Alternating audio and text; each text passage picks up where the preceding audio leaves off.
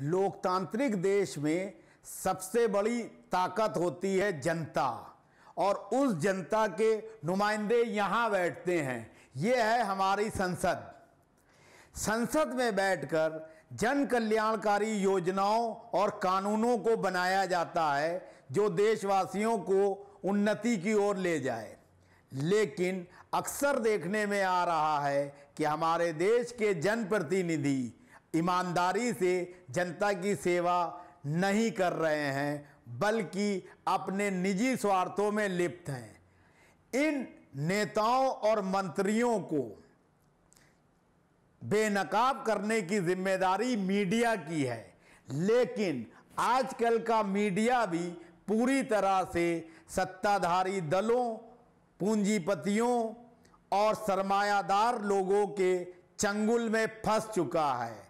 सरोकार मीडिया ने तय किया है कि जन सरोकार प्रोग्राम के तहत हम देश और समाज की उन समस्याओं को उठाएँगे जिनसे जनता का सीधा सरोकार है। हम नेताओं को उनके सही मकसद की याद भी दिलाएँगे और उनको राष्ट्र हित में कार्यपालिका, न्यायपालिका, विधायिका और पत्रकारिता का इस्तेमाल कैसे हो, ये भी बताने का प्रयास करेंगे। हमारी देशवासियों से अपील है कि वे इस प्रोग्राम को मज़बूत और कामयाब बनाने के लिए हमारे WhatsApp number nine five four zero two nine triple seven zero पर अपने सुझाव प्रेषित करें। धन्यवाद। हेलो। जय जोहार। जय जोहार। हाँ सोहन साहब जल जंगल ज़मीन को लेके आदिवासियों के ऊपर जिस तरह से सारी सरकारों ने अपने प्रभाव का इस्तेमाल किया है और ख़ास तौर से आप आदिवासियों के बहुत बड़े नेता हैं तो उनके कल्याण के लिए क्या संघर्ष आप कर रहे हैं और उसकी समस्या का समाधान कैसे होगा कि आदिवासियों की ज़मीनें न छीनी जाएँ जल जंगल ज़मीन जो है सुरक्षित रहे, उनके जो कुदरत ने उनको जो है अधिकार दिए हैं, उनके और संविधान में जो हमें अधिकार प्राप्त हैं आदिवासी भाइयों को, उन अधिकारों को जो है सरकार ना छीन पाए और उनको भी जो है मुख्य धारा में आगे उन्नति और तरक्की करने का मौका मिले। और मेन समस्या क्या है? एकमात्र आधार है तो यहाँ पांचवी अनुसूचित क्षेत्र है। पांचवी अनुसूचित क्षेत्र का नियम बना करके उसको कड़ाई से पालन करें और जो भी प्रशासनिक अधिकारी या कोई भी हो जी। वो नियम का पालन नहीं करता है उसके लिए दंडात्मक कार्रवाई का भी प्रावधान उसमें समाहित हो तो निश्चित रूप से सारी समस्या का समाधान एक ही ये पर हो जाएगा। और दूसरा करने की ज़रूरत नहीं। नहीं सर बिल्कुल सही कह रहे हैं आप क्योंकि पांचवी अनुसूची में जो अधिकार प्राप्त हैं आदिवासियों को और उनके क्षेत्र को जल जंगल ज़मीन को उसका सही से क्रियान्वयन नहीं हो रहा है और अधिकारी जो है मंत्रियों से और औद्योगिक घरानों से मिली भगत करके जो है आदिवासियों का दोहन करते हैं। तो आप सही कह रहे हैं दंडात्मक कार्रवाई हो तो उसके लिए आप सरकारों पे और केंद्र सरकार पे और राज्यपाल लोगों के ऊपर और राष्ट्रपति से आप किस तरह की जो अपेक्षा करेंगे कि कोर्ट में जाएँगे या आंदोलन करेंगे? नहीं देखिए कोर्ट में जाए तो भी देखिए आदिवासी कोर्ट में जाने के लायक नहीं है। जी।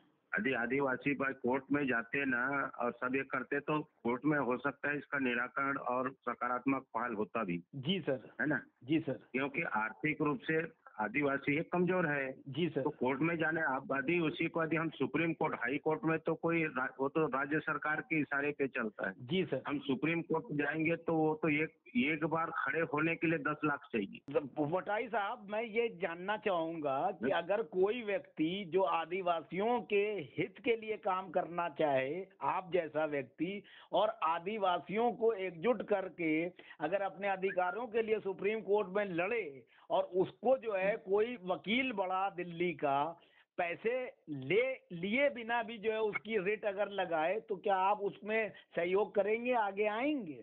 बिल्कुल बिल्कुल बिल्कुल करेंगे। वो तो कई विषय है एक विषय नहीं जल जंगल वाला ज़मीन नहीं यहाँ एक से एक ऐसे विषय हैं बाइबल को अहित हो रहा है। जी सर। और मैं तो बाकी जगह का नहीं कह सकता लेकिन छत्तीसगढ़ में और इसी तरह से बाकी जगह भी हो रहा है। जी सर। ऐसा नहीं है। जी और हम केवल एक आंदोलन तक ही सीमित हो जाते हैं आंदोलन से आगे कुछ नहीं करते। आंदोलन कितने दिन तक करेंगे? बिल्कुल सही कह रहे हैं सर। आंदोलन का भी एक समय सीमा है उससे ज़्यादा तो कोई भी आदमी रोज रोज के आके आंदोलन में खड़ा नहीं हो सकता ना। उसमें भी जी। रोजी रोटी का प्रश्न रह जाता है।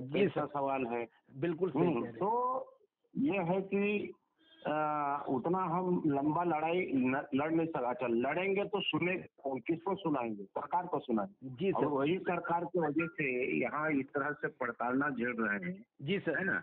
इसलिए मैं कह रहा हूँ कि जो पांचवी अनुसूची में जी। नियम तो बना दिए हैं लेकिन नियम में यदि जिस तरह से हर चीज़ जो क्राइम होता है क्राइम का अलग अलग धाराएँ हैं कि इसके अंतर्गत ये कार्रवाई होगी इसके अंतर ये कार्रवाई होगी ये नहीं करने से ये नहीं होगी। तो इसी तरह से पांचवी अनुसूचित क्षेत्र के नियम में भी ये प्रावधान होना चाहिए कि दंड का प्रावधान कि यदि इसको ऐसा करने से इसमें ये प्रावधान है इसमें ऐसा करने से इसमें ये प्रावधान मतलब इस तरह से जब तक दंडात्मक कार्रवाई उनके ऊपर ना हो और नियम ना बने जी सर। तब तक ऐसा ही होता रहेगा? नियम रहेगा नियम का पालन तो कौन करेगा? सरकार वहाँ के प्रशासन के माध्यम से होगा। अच्छा अब प्रशासन ही नियम का पालन नहीं करेगा तो कौन करेगा? अच्छा सर एक सवाल और कि आदिवासियों के बहुत बड़े बड़े नेता हैं और आप उनमें से प्रमुख हैं लेकिन आदिवासी नेताओं को कांग्रेस भारतीय जनता पार्टी और अन्य पार्टियाँ अपनी तरफ़ ले लेती हैं इसलिए क्या आदिवासियों की एकता जो है छिन्न भिन्न हो जाती है वो एकजुट नहीं हो पाते हैं? ये बात सत्य भी है और असत्य भी है। अब भाई मैं तो पहले सांसद रहा बीजेपी से ही चार बार। जी सर। ठीक है? जी सर। लेकिन मैं पार्टी में रहकर भी यहाँ गलत है उसके खिलाफत में लड़ा। जी सही है। पार्टी में रह करके जी है ना? जी। मैं पार्टी फोरम से हट करके जी। समाज हित और प्रदेश में जहाँ जहाँ भी गलत हुआ है मैं उसके लिए आवाज़ उठाई। इसलिए हमको दोबारा टिकट नहीं दे अभी प्रयास कर रहे हैं। मैं कहा कि नहीं अब तो मैं जहाँ से वापस जहाँ से मैं हटा हूँ वहाँ जाने का प्रश्न ही नहीं होता। जी लगातार प्रयास में है। जी सर कांग्रेस भी प्रयास में है। कांग्रेस भी प्रयास में है।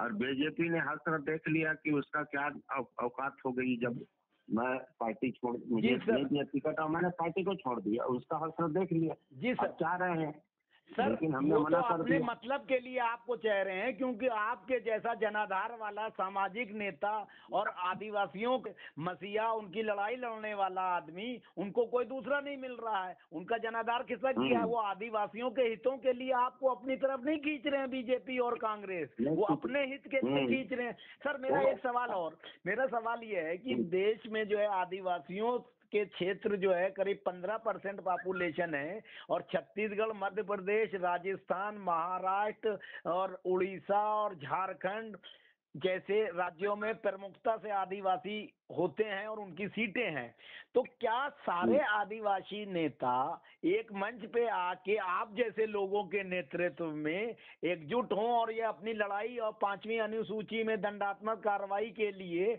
ये व्यवस्था करने के लिए सुप्रीम कोर्ट और महामहिम राष्ट्रपति तक और एकजुटता दिखाने के लिए प्रयास कर रहे हैं या करेंगे भविष्य में? देखिए अपने यहाँ बहुत सारे ऐसे अभी चाहे विधायक हैं या मंत्री बने हैं। जी। ये सारे लोग पहले तो समाज के इशू को लेकर के बहुत आगे आगे आए। जी। और समाज ने उनको भेज भी दिया चुनाव चुनाव जिता करके। जी सर। भले वो पार्टी से टिकट लाया लेकिन उसी बेस पे चुनाव जिताया। जी लेकिन जैसे पद पाए तो वो सारे विषय को भूल गए। बिल्कुल अब सही। सरकार के साथ जो एजेंडा पे सरकार चलाता है उसी एजेंडा पे चलते हैं चाहे आदिवासी भाड़ में जाए इससे कोई मतलब नहीं। जी। अच्छा। वो उनका मतलब निकल गया। है ना? जी तो अब अब ये है कि जिस तरह से झारखंड में जी। अब तीसरा विकल्प कांग्रेस ना पार्टी अब तीसरा विकल्प जब आया है तो वहाँ पर अब कुछ वहाँ के लोगों के अधिकार का भी और वन चाहे वन अधिकार से लेकर अन्य जो संवैधानिक अधिकार है उसमें एक अमल हो रहा है तो वहाँ में एक उनके विकास के एक आशा के किरण जागृत हुआ। एकदम सही कह रहे हैं हेमंत सोरेन अच्छा काम कर रहे हैं वहाँ। जी। बिल्कुल बहुत अच्छे काम कर रहे हैं। जी। क्योंकि वो कोई पा, कोई पार्टी के गाइड अपना खुद पार्टी है और खुद अपना गाइडलाइन बनाते हैं। जी। और अपना खुद गाइडलाइन बनाते हैं वो पार्टी वहाँ के लोगों के हित को देखकर बनाते हैं। लेकिन यहाँ जो भी नेशनल पार्टी हैं वो वो अपने यहाँ स्थानीय स्तर पे उसका अ, कोई मैप नहीं बनता बल्कि वो पूरा राष्ट्रीय स्तर पे बनता है।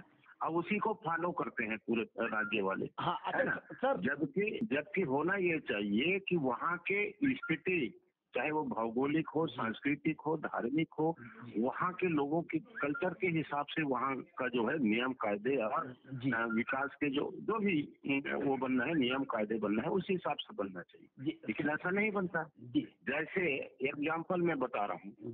पांचवी अनुसूचित क्षेत्र में ट्राइबल की ज़मीन को अदर नहीं ले सकता। जी बिल्कुल सही है। ठीक है? ट्राइबल की ज़मीन को अदर नहीं ले सकता। लेकिन यही सरकार है उस ट्राइबल के ज़मीन को अधिग्रहण करके जी। अदर को बेच देता है। जैसे कोई कंपनी किसी अ, अ, अदानी को बेच दिया अंबानी को बेच दिया किसी और अन्य प्रकार को बेच दिया। तो मेरे कहने का मतलब है जब आदिवासी की ज़मीन आदिवासी दिगर नहीं खरीद सकता है तो ये सरकार है आदिवासी के ज़मीन को अधिग्रहण के दिगर को कैसा दे दिया जी बिल्कुल सही कह रहे हैं सर आप। सर एक चीज़ और हाँ। बताइए हाँ। कि जैसे आदिवासी नेता हैं आप बहुत प्रभावशाली। आप किसी आदिवासी पार्टी में जैसे हेमंत सोरेन साहब हैं छोटू भाई वसावा हैं अमित जोगी हैं और लोग भी हैं जो आदिवासियों का नेतृत्व करते हैं और आप बड़, बड़े नेता हैं तो आप किसी पार्टी में जाएँगे कि अपनी अलग पार्टी बनाएँगे? नहीं देखिए यहाँ तो हम थर्ड फ्रंट तीसरा विकल्प हम देख रहे हैं यहाँ के हम ही नहीं देख रहे हैं। ट्राइबल समाज ही नहीं देख रहा है अदर लोग भी देख रहे हैं लेकिन दिक्कत यह है कि आज भी अ, अपने जो समाज के लोग बटे हुए हैं कोई कांग्रेस में बटे हैं कोई बीजेपी में बटे हैं और कोई बटे हैं और कोई। ये में अलग अलग सब बटे हुए हैं अब इनको एक विचारधारा में लाना जी। बहुत कठिन काम है लेकिन असंभव नहीं है सब संभव हो सकता है। जी। है ना? और उसके लिए हम प्रयास लगे हैं। सर छोटू भाई वसावा साहब उनसे मेरी बातचीत हुई कई बार। उनका ये कहना है कि वो सभी आदिवासी नेताओं के साथ मिल के और उनके हिसाब से भी बातें मान के जो जायज़ बातें हैं हक की बातें हैं आदिवासी समाज के उत्थान के लिए है वो एक साथ आने को तैयार हैं। तो आप क्या ऐसी हम्म। किसी कोशिश में साथ देंगे? नहीं अब देखिए हर जगह का जैसे छोटू भाई वास्तव का उसका ये ठीक है ये ट्राइबल है मैं मान रहा हूँ। वो वहाँ के जो आधार पर वहाँ के जो भौगोलिक स्थिति के हिसाब से वहाँ के लोगों के रहन सहन के हिसाब से उसने जो पार्टी बनाया है वो सुटेबल जी। अब शिवो सारण जो वहाँ पर जो बनाया है वहाँ के हिसाब से बना उसको जो हम छत्तीसगढ़ में थोपेंगे तो छत्तीसगढ़ के लोग स्वीकार थोड़े करेंगे। एकदम सही कह रहे हैं आप। नहीं लेकिन मैं ये कह रहा हूँ सर यहाँ पे क्वेश्चन ये है कि छत्तीसगढ़ में मान लीजिए आप हैं और आपकी पार्टी को एक मंच पे आके शिबू सोरेन हेमंत सोरेन और छोटू भाई वसाया महेश भाई वसावा और दूसरे ट्राइबल नेता दें तो एक संदेश जाएगा राष्ट्रीय स्तर पर आदिवासी समाज में कि सारे मेरे बड़े रहनुमा मेरे बड़े नेता मेरे बड़े मसीहा मेरे नेतृत्वकर्ता जो है एक मंच पे आए अब मेरे अधिकारों का संरक्षण हो सकेगा। मैं ये कहना चाह रहा हूँ मैं किसी के झंडे के नहीं, नहीं, जाने की बात नहीं कह रहा। हूँ नहीं नहीं नहीं इसके लिए हम तो बिल्कुल प्रयासरत हैं। यदि कोई यहाँ के लिए कोई अ, हमको सहयोग करना चाहते हैं हर क्षेत्र में जी। तो उसके लिए स्वागत है। हमको कहीं ऐसा नहीं है कि कोई परहेज की नहीं भाई उसके साथ हम नहीं जाएँगे उनके साथ नहीं बैठेंगे। आखिर लगभग सभी का विचारधारा एक है सभी की समस्या एक है। ये है कि क्षेत्र के क्षेत्र अलग अलग होने के कारण वहाँ के भौगोलिक और अन्य परिस्थिति की वजह से अलग अलग है। हाँ तो है ना? जी। जैसे एक एग्ज़ाम्पल के लिए। जी। राजस्थान राजस्थान में यदि है तो वहाँ के जो ये है जैसे मैंने वहाँ का जो है स्टोन का जो ये है हमारे यहाँ जो है लो एस का, है है ना? जी तो लो एस का है कोयले का है तो वहाँ के हिसाब से वो अपना नीति बनाएगा मेरे यहाँ के हिसाब से मैं अपना नीति। जी। ओवरऑल ये है कि हमारे यहाँ वहाँ भी है और हमारे यहाँ भी है। लेकिन हमारे यहाँ जितने भी और भी बड़े लीडर हैं जी। जैसे अरविंद बतान जी तो हमारे सबसे वरिष्ठ हैं। वरिष्ठतम हैं जी। है ना? वो अभी बीच में अच्छा साथ दे रहे थे और अभी भी दे रहे ऐसा नहीं है। साथ दे रहे हैं। लेकिन क्या है कि वो पार्टी में चलती है तो लोगों में एक आ, उनके प्रति जो सोच है गलत हो गया कि देखिए समाज में आते हैं समाज में अपना जनाधार बढ़ा करके पार्टी में चले जाते इसीलिए पार्टी में आते हैं। अच्छा। ऐसा लोगों का ये बन जाता है। जैसे नंद कुमार साहिब जी। जी। नंद कुमार कुमार साहिब जी है अभी भी पार्टी से मोह को त्याग नहीं रहे। जी। खाली की बात अलग कहते हैं लेकिन वो पार्टी से अलग जो नहीं त्याग पा रहे इसलिए उसके साथ समाज नहीं जुड़ पा रहे। अभी हम तो कह रहे हैं कि यहाँ के जितने भी लीडर हैं जी। जैसे अ, नंद कुमार साय जी हो गए अरविंद नेतान जी हो हम लोग अभी हम तीन हैं तो तीन भी यदि एक हो जाए एक विचार मंच हो जाए बाकी सबको हम छोड़ दें किनारे कर दें जी। तो पर्याप्त है छत्तीसगढ़ के लिए अच्छा सर एक सवाल और। छत्तीसगढ़ के पहले मुख्यमंत्री अजीत जोगी जो कि अब इस दुनिया में नहीं है उनसे आपके अच्छे हाँ। संबंध थे। तो अमित जोगी से हाँ, जो है वैसे मधुर संबंध नहीं है ऐसा क्यों? नहीं देखिए वो तो अजीत जोगी के साथ भी हमारा संबंध था। उन्होंने भी बहुत हमको प्रयास किया कि भाई अ, उसमें छत्तीसगढ़ जनता कांग्रेस में आप आ जाओ हम आपको सीएम प्रोजेक्ट कर देंगे सीनियर जूनियर को छोड़ करके आपको ही हम प्रोजेक्ट कई थोड़ी बात है लेकिन उनका हमारा एक विचारधारा नहीं मिल सकता समझे? हम बहुत साफ़ निष्पक्ष और ये हाँ उनमें सभी प्रकार का गुण था है ना? फल प्रपंच ये सब हम नहीं कर सकते। अब वो तो ट्राइबल हूँ कहा लेकिन उसका तो कहीं भी ट्राइबल का नामो निशान नहीं कि उसको ना हमारे संस्कृति से उसके ट्राइबल की संस्कृति से मिलता है ना संस्कार से मिलता है। जी। किसी से भी नहीं मिलता जुलता उसका जी। है ना? न कभी कोई पीढ़ी उनको जो ट्राइबल के साथ शादी वर्गी हक किया जी। खाली कि वो ट्राइबल ट्राइबल करके बोल दिया लेकिन अभी भी तो उसका जो जाति का विवाद है, जी। है? नंद कुमार बघेल साहब जो मुख्यमंत्री भूपेश बघेल के पिताजी हैं उनका कहना हम्म। है कि आदिवासियों की ज़मीन जो यूपी और बिहार के लोगों ने महाराष्ट्र के लोगों ने आके आदिवासी महिलाओं से शादी करके ज़मीन हड़पी है या अपने नाम की है उनकी ज़मीन जो है आदिवासी समाज को वापस दिलाई जाए और जो औद्योगिक घरानों को ज़मीन देती है सरकार अधिग्रहण करके हम्म। उसको भी वापस करे तो इस इस बात को आप किस नज़रिए से देखते हैं कि पिताजी तो ऐसा कहते हैं तो भूपेश बघेल हम्म। उसको क्रियान्वित नहीं करते तो इसको क्या कहेंगे आप नंद कुमार बघेल जी बहुत वरिष्ठ हैं बुज़ुर्ग हैं पिता तुल्य हैं लेकिन एक तरफ़ वो ब्राह्मण का विरोध करता है। जी। ठीक है ब्राह्मणवाद जी है ना? जी। और भूपेश बघेल के लेकर पूरा जितने ब्राह्मण लाभी उसके अंदर घर चौके से लेकर के पूरा कार्यालय तक तो घेर लेते हैं वही लोग वही लोग हैं उन्हीं उनका सलाहकार वही उनका जो सचिव तो सारे लोग वही लोग जी। उसका घर को तो पहले सफ़ाई करे। जी। है? बाप कुछ कहे बेटा कुछ करे?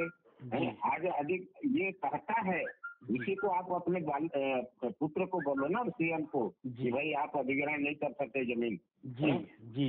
उनको बोलो उनको समझाओ वो भी अधिग्रहण कर रहा है। कारपोरेटों को दे रहा है। जी। अभी पिलगेर में जो मामला हुआ जी। है ना? अभी तीन ग्रामीण लोगों के ऊपर जो है कोर्ट ने वहाँ का जो सीआरपीएफ वालों ने गोली बरसा दिया वो भी संवैधानिक अधिकार का अ, बात कर रहे थे कि वहाँ कैंप खोल दिए तो कैंप का विरोध किए भाई कि भाई ये पांचवी अनुसूचित क्षेत्र है पांचवी अनुसूचित क्षेत्र में जब तक ग्राम सभा की सहमति न बने तब तक उसका वहाँ पर कोई भी चाहे कैंप हो चाहे थाना हो चाहे और भी कोई भी कार्य आप नहीं कर सकते सही है जब तक एकदम सही। सभा के जी सही है जी। आप वहाँ पर कभी भी कहीं भी ग्राम सभा की अनुमति नहीं कई जगह ग्राम सभा का ले रहे हो तो फर्जी ले रहे हो। जैसे अभी किरंदुल का जो है तेरह नंबर डिपॉजिट का बात आया तेरह नंबर डिपॉजिट अडानी को दे दिए थे तो अडानी का उसका वहाँ पे विरोध हुआ। जब जाँच हुआ भाई यहाँ पे ग्राम सभा हुआ ही नहीं तो ग्राम सभा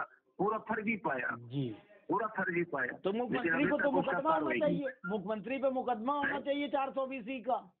अरे करेगा कौन? चार सौ बीसी का देखे ताल मेटला कांड है जब बीजेपी की शासनकाल में हुआ। जी। जहाँ करीबन बहत्तर जो है सीआरपीएफ वगैरह के फोर्स है वो नक्सली मुठभेड़ में मारे गए थे। जी। और उसके जो गुस्से में आकर के पूरे फोर्स ने वहाँ के पूरे गाँव के गाँव को पूरा जला दिए। और बाद तो आरोप लगाए कि ये नक्सलाइटों ने जलाया। जी। इसका सीबीआई जाँच हुआ। सीबीआई जाँच में ये वो लोग जो बताए थे कि भाई ये नक्सलाइटों ने जलाया वो निराधार हुआ बल्कि वो सीबीआई ने कहा कि इसको यहाँ के गाँव को फोर्स ने जलाया। जी। नक्सलाइटों ने जलाया? बताइए। वो सिद्ध कर दिए। उसने प्रेस वार्ता करके कहा कि मैंने जलवाया था। हाँ मैंने जलवाया। बताइए। सीबीआई जाँच के बाद उसने कह दिया कि मैंने जलवाया। लेकिन अभी तक उसके ऊपर कोई कार्रवाई नहीं हुआ। जी। इसी तरह से और भी कई ऐसे मामले हैं जहाँ पर वही सरके गुड़ा सरके गुड़ा करके है। जी। वहाँ सत्रह लोग गाँव में पंडुम त्योहार मनाते हैं उसी तरह से मना रहे थे गाँव में सामूहिक रूप से। सत्रह लोगों के ऊपर सीआरपीएफ ने अंधाधुन गोली चला के मार दिया और बताया कि नक्सलाइट मीटिंग में बैठे थे। वहाँ पर मारे गए। अब उसमें करीबन बारह तेरह साल के दो तीन लड़के लोग पढ़ने वाले वो भी थे क्योंकि। त्योहार है बंडों में मनाते हैं त्योहार में सारे लोग रहते हैं। जी। तो वो भी मारे गए तो उसमें बाद में उसका जो है आयोग का उसमें न्यायिक आयोग का गठन गठन हुआ मजिस्ट्रेट ने उसने कह दिया कि भाई ये फर्जी रूप से था ये गाँव वाले लोग सामूहिक रूप से वहाँ त्योहार मना रहे थे। और वो कोई भी नक्सलाइट नहीं थे बल्कि निर्दोष ग्रामीण थे। उसने भी कह दिया जी। उसका भी अभी तक कार्रवाई नहीं हुआ। आप आदिवासियों के इतने बड़े नेता हैं बारीकी से सारी चीज़ें जानते और समझते हैं नक्सल समस्या का समाधान आपके हिसाब से कैसे संभव है?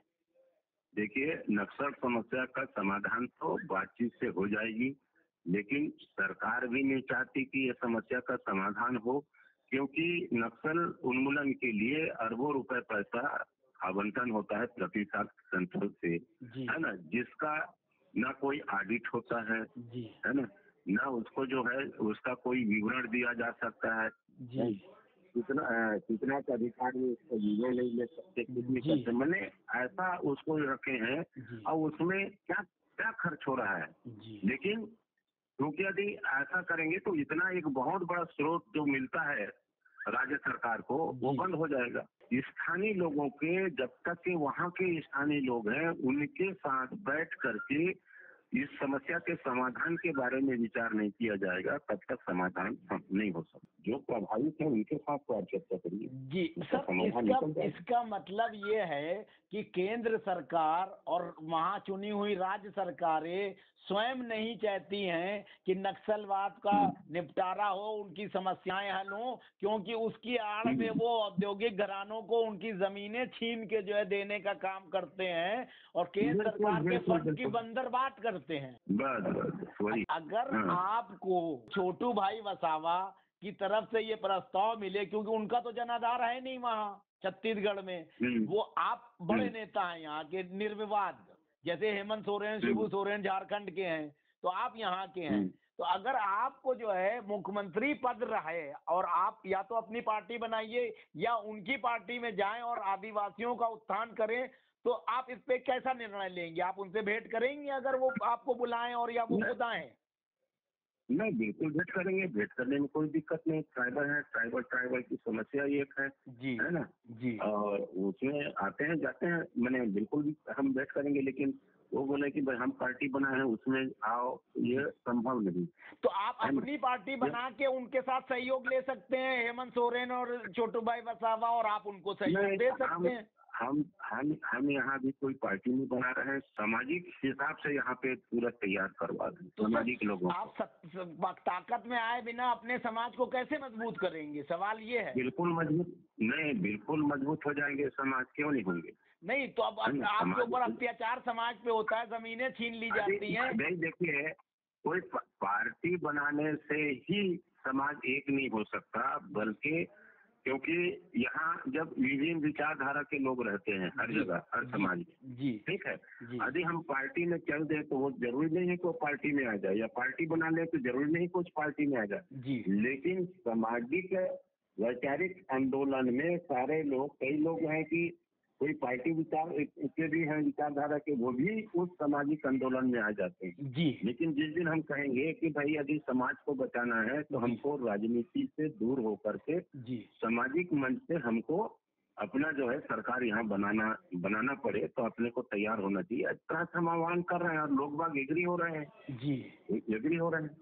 अच्छा तो आपके इस आह्वान में अगर आदिवासी नेता हेमंत सोरेन शिबू सोरेन महेश भाई वसावा छोटू भाई वसावा या और अन्य क्षेत्रों के आदिवासी नेता मोहन डेलकर साहब अब नहीं रहे जो एमपी थे उनके बेटे हैं वो सब लोग जो है आपको अगर सहयोग करें कि आप आगे बढ़ो आप अच्छा काम कर रहे हो आप ही आगे चल के प्रदेश का नेतृत्व करो आदिवासियों के समस्या का समाधान करो तब तो आपको चुनाव में हम्म। जाना पड़ेगा ना सर?